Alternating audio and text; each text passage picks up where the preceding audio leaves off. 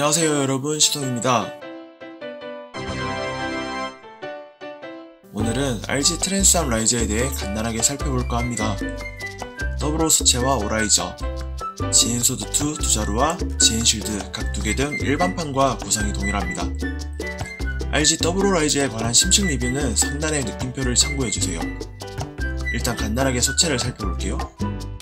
clear 제품이라 내부 프레임이 훤히 드러나는 모습이 신비하기까지 하네요 한정판이 괜히 한정판이 아니구나 하는 느낌을 많이 받았습니다. RG는 RG 특유의 고유 테트론 seal이 동봉되어 있는데요. clear kit의 장점이 사라진 것 같아서 저는 그냥 붙이지 않았습니다. 남은 테트론 seal은 다른 킷에 붙여줘야겠어요. 유리같이 투명한 플라스틱이라니 정말 특별해 보이는 한정판 kit입니다. 특히 트랜스한 모드를 정말 아름답게 표현한 것 같아서 더욱 마음에 드네요. 반다이는 메카닉 디자이너한테 정말 상줘야 될 것 같아요. 일반판과는 달리 내부 프레임이 드러나니까 한층 더 메카니컬한 느낌입니다. 색상도 부분 부분 짙은 색으로 포인트를 줘서 지루하지도 않습니다. 일반판과 나란히 세워두면 어떨지 궁금하네요. 오라이저 소체도 한번 확인해 볼게요. 오라이저 역시 트란잠 모드 clear 컬러로 내부가 훤히 드러납니다. 색상도 더블오 소체와 마찬가지로 균형 있는 색감을 자랑하네요. 내부가 훤히 드러나니 정말 신기하고 예쁩니다. 이건 정말 추천 안 할 수가 없네요. 여러분도 기회가 되신다면 꼭 한번 clear kit을 구입해서 조립해보세요. 이건 정말 직접 보셔야 느낌이 확 올 것 같습니다. 화면상으로는 이 영롱함이 다 전해지지가 않네요. 무장의 상태는 어떨지 궁금하네요.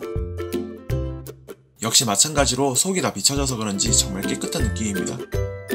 소소한 색분할도 있지 않고 해줘서 눈이 정말 즐겁네요. 속이 비춰지니 보는 맛이 좋습니다. 킷의 무장과 구성품 등은 모두 일반판과 동일하니 참고해주세요.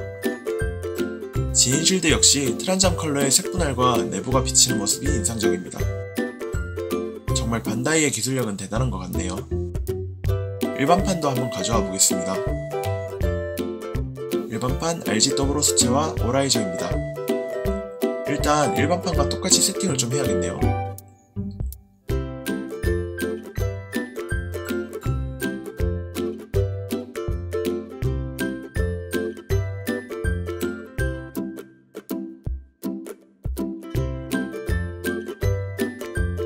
똑같은 자세, 똑같은 포즈로 세팅을 해봤습니다.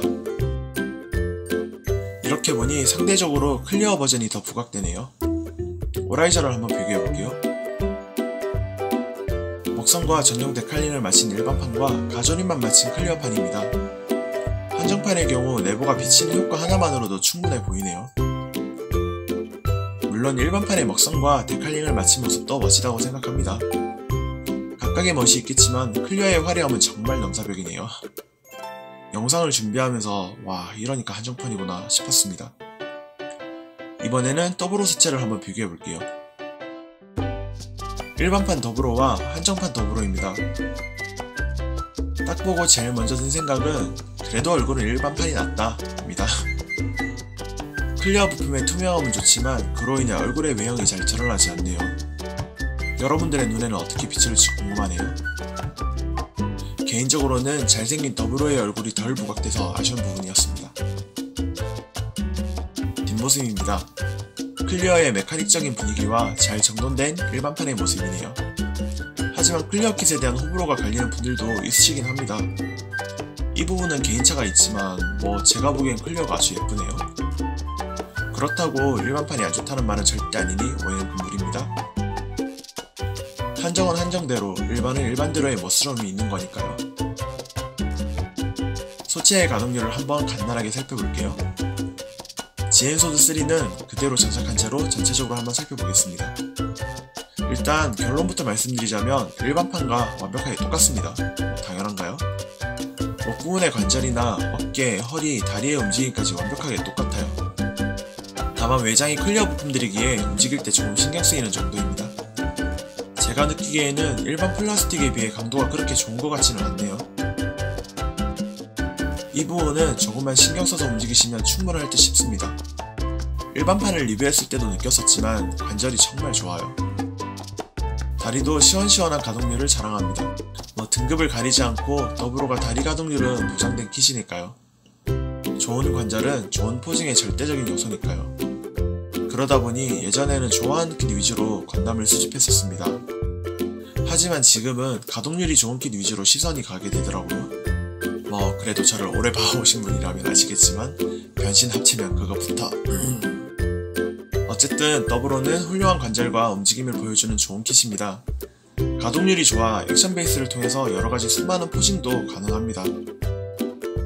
도브로 시리즈를 좋아하시는 분이라면 후회 없는 좋은 선택이 될 것 같네요. 도브로 라이저로 합체를 해볼게요. 변신 합체를 좋아해서 이 시간이 제일 좋습니다. 먼저 오라이저의 양쪽 날개를 다 탈착시킵니다. 탈착시킬 때는 위쪽으로 올려주면 슬라이드식으로 탈거가 가능합니다. 그리고 남은 오라이저의 양쪽 끝부분을 바깥으로 살살 당겨주세요. 꼬리 부분을 기준으로 밑으로 가지런히 내려주면 됩니다. 아주 쉽죠? 변형시킨 오라이저를 더블오 소체의 등에다 장착합니다. 탈부착하기 편해서 좋아요. 양쪽 날개 부분은 가운데 프레임 쪽의 조인트를 위로 올려주면 됩니다. 이 부분은 RG 특유의 변형 시스템입니다. MG는 따로 추가 조인트 parts가 필요하고 PG도 고정성이 훌륭하진 않아요. 그리고 RG 역시 고정성이 그렇게 좋은 건 아닙니다. 하지만 탈부착의 편의성이 좋은 장점이 있어요. 따로 준비해야 되는 추가 parts도 없으니 간편합니다. 이렇게 더블오라이저 모드까지 재현해봤습니다. 일반판과 한정판을 비교했을 때 여러분은 어떤 느낌인가요?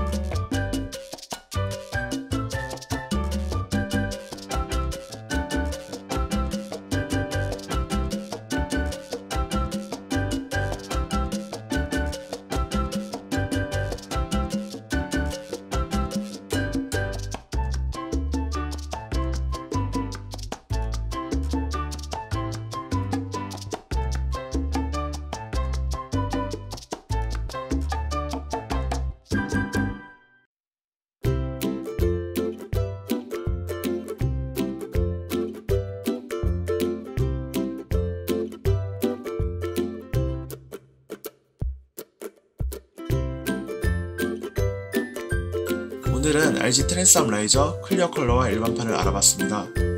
한정판과 일반판의 차이가 확실히 드러난 시간이었던 것 같아요. clear의 특성이 확실히 드러난 한정판과 기준이 되는 일반판 두킷 모두 각기 가지고 있는 장단점이 있으니 참고하시면 좋을 것 같네요. 이번 주도 정말 즐겁게 건프라 취미생활 했네요. 멋진 kit을 선물해주신 놀이TV님께 다시 한번 감사의 말씀드립니다. 그럼 여러분 즐거운 취미생활 하세요. 뿅! 영상이 좋았다면 구독과 좋아요, 알림 설정까지